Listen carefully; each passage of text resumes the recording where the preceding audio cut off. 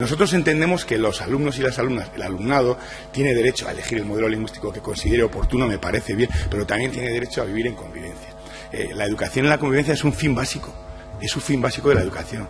La educación para la convivencia es un fin básico para la democracia. La educación para la, para la, convivencia es un fin básico para la normalización lingüística y es un fin básico para la cohesión social. Y nosotros entendemos que educación es más que instrucción, es más que trasladar conocimientos. Entendemos el bilingüismo, pero el bilingüismo social no el bilingüismo individual.